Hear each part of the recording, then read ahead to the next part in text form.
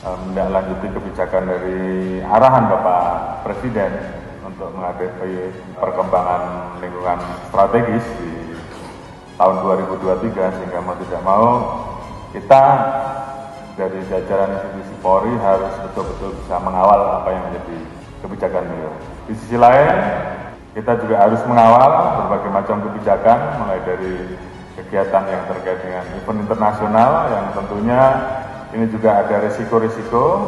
apa pun yang namanya kepercayaan publik adalah mutlak dan harga mati yang harus kita perjuangkan. Terhadap hal-hal yang menjadi perhatian publik, yang mencederai rasa keadilan publik, lakukan penegakan hukum secara tegas sehingga kemudian